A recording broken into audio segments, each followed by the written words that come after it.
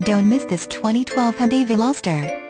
Is equipped with automatic transmission and features a Boston red metallic exterior. With 15 miles, you'll want to take this car home. Make a great choice today. Contact us and see this car firsthand.